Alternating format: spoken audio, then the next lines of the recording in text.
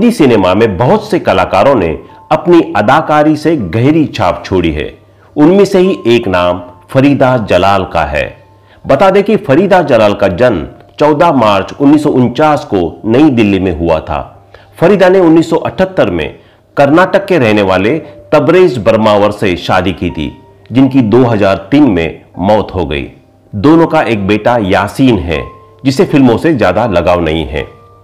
वह पिछले पाँच दशकों से लोगों का लगातार मनोरंजन कर रही है।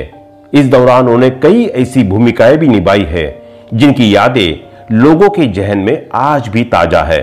आपको जानकर हैरानी होगी कि फरीदा के एक्टिंग करियर की शुरुआत रियलिटी शो से हुई थी।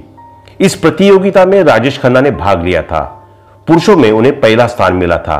वही हीरोइन के रूप में फरीदा ने इस कंपटीशन में बाजी मारी थी। इसे जीतने के बाद फरीदा जलाल की ज़िंदगी रातों रात बदल गई थी। इवेंट के बाद ताराजन बड़जात्या ने उन्हें तकदीर ऑफ़र कर दी। इस सलाम के निर्देशन में बनी इस फ़िल्म में फरीदा के काम को काफ़ी पसंद किया गया था। इसके बाद फरीदा को राजेश खन्ना के साथ भी स्क्रीन स्पेस शेयर करने का मौका मिला। इस फ़िल्म का नाम आराधना था। फ़िल्म में उन्होंने एक्टर की मंगेतर का किरदार निभाया था। फरीदा जलाल का जन्म मुंबई में हुआ था और 60 के दशक में उनके करियर की शुरुआत यूनाइटेड फ़िल्म प्रोडक्शन टैलेंट हट जीतकर हुई थी, जिसे फ़िल्म फेयर ने स्पॉन्सर किया था। उनके साथ राजेश खन्ना ने भी यह कॉन्टेस्ट जीता था। इसके बाद ताराचंद बड़जात्या ने उन्हें पहली मूवी, तकदीर ऑफ़र की। बाद में फरीदा ने राजेश संग आराधना मूवी में भी काम किया। फरीदा जलाल ज़्यादातर फ़िल्मों में मेल लीड की बहन या फिर रिजेक्टेड मंगेतर का किरदार निभाई थी।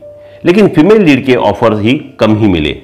उन्हें बॉबी से पॉपुलैरिटी मिली, जिसमें उन्होंने ऋषि कपूर की मानसिक रूप से बीमार मंगेतर का दमदार रोल निभाया था।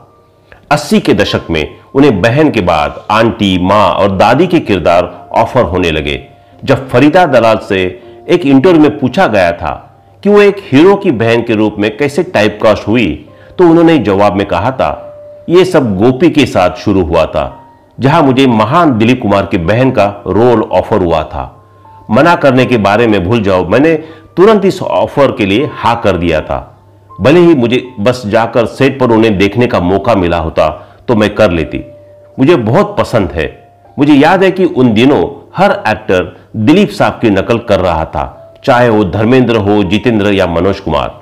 मैं दिलीप साहब की बहन के रूप में बहुत ज़्यादा डिमांड में थी। हर हीरो वही चाहता था। एक्टर चाहता था कि मैं उनकी बहन का किरदार निभाऊं। कभी फ़िल्म की हीरोइन की बहन की फरीदा जलाल ने आगे कहा था, एक्ट्रेस सिर्फ़ अपने गाने गाती थी, जबकि मेरे पास सभी ड्रामा वाले सीन्स थे। मुझे मेरी पहचान और अवार्ड्स मिले।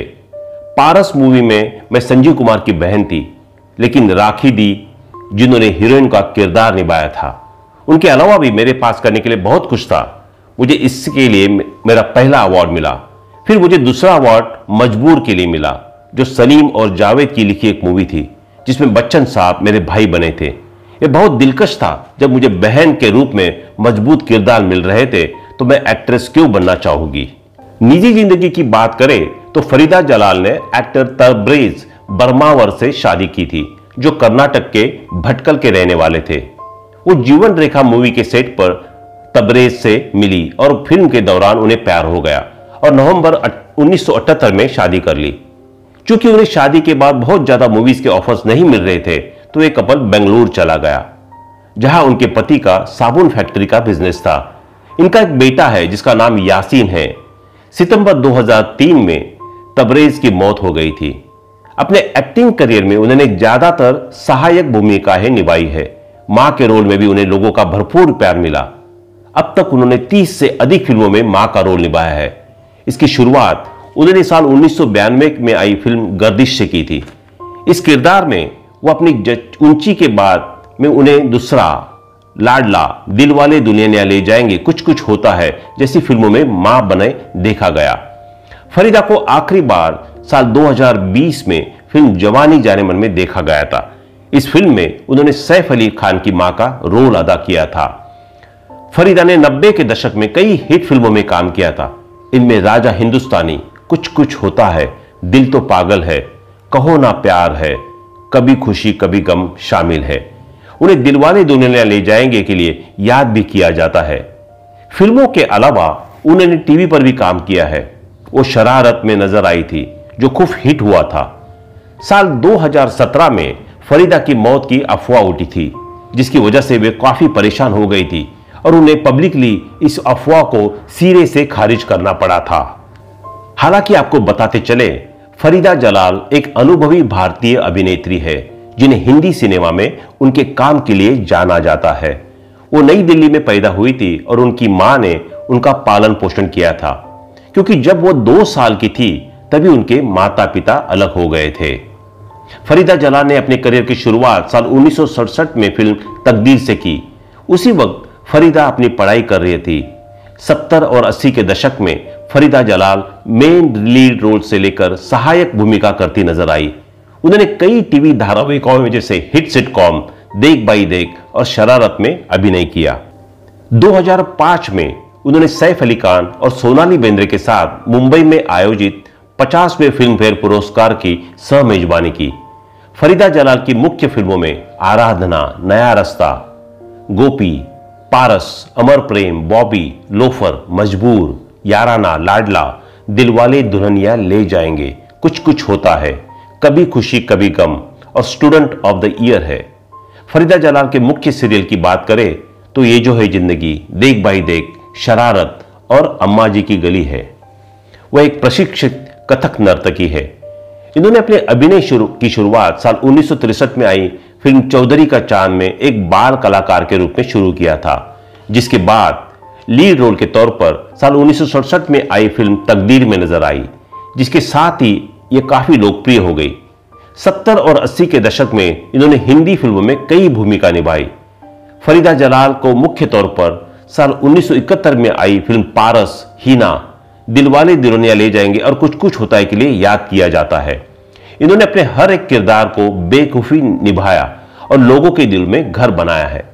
फरीदा जलाल ने नब्बे के दशक में माँ से लेकर दादी तक के किरदार को निभाया है। इन्होंने इंडस्ट्री के कई सुपरहिट फ़िल्मों से नवाजा है। फरीदा जलाल कई टीवी शोज़ में भी अभिनय किया है, जिनमें ये जो है ज़िंदगी, अम्मा जी की गली जैसे सीरियल शामिल है। लेकिन अगर बात करें इनके बेटे के बारे में तो उसका नाम यासीन जलाल है। जो दिखने में किसी एक्टर से कम नहीं है और काफ़ी हैंडसम है। साथ ही यह अभी पढ़ाई कर रहे हैं और जल्द ही बॉलीवुड में डेब्यू करने वाले हैं। वही आपको बता दे कि उन्होंने साल 1978 में तबरेज बर्मावर से शादी कर ली थी, लेकिन साल 2003 में इनके पति की मृत्यु हो गई है। वही अगर फरीदा जलाल के आज के बारे में बात की जाए तो दोस्तों आपको बता दे कि फरीदा जलाल चौहत्तर साल की उम्र पार कर चुकी है और आपको पहले के मुताबिक काफ़ी बदली हुई नज़र आती है, जैसा कि आप हमारी इन तस्वीरों में देख सकते हैं। फरीदा जलाल चौहत्तर साल की उम्र में बुढ़ापे के दहलीज पर कदम ही रख चुकी है। हमारी इस तस्वीर में आप देख सकते हैं कि वह पहले से काफ़ी बदल गई है, लेकिन आप भी फ़िल्मों और सीरियल में काम करना चाहती है।